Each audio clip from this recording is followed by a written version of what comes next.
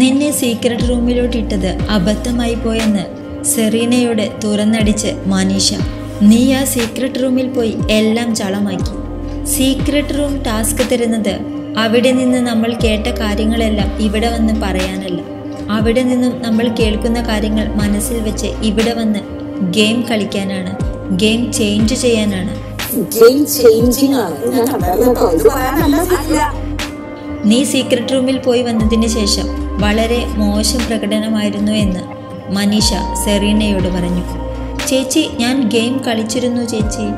റിനോഷേട്ടനെയായിരുന്നു ഞാൻ എയിം ചെയ്തത്.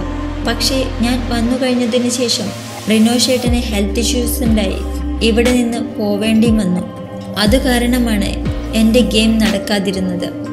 എന്നാണ് മനീഷയോട് സെറീന തിരിച്ചു പറഞ്ഞത്. സെറീനയ്ക്ക് പകരം ജുനേസിനെ എങ്ങാനും ഇട്ടിരുന്നെങ്കിൽ എന്തെങ്കിലുമൊക്കെ നടന്നേനെ എന്ന് മനീഷ പറഞ്ഞു. ഇത് കേട്ടപ്പോൾ ജുനൈസിന് വളരെയധികം സന്തോഷമായി.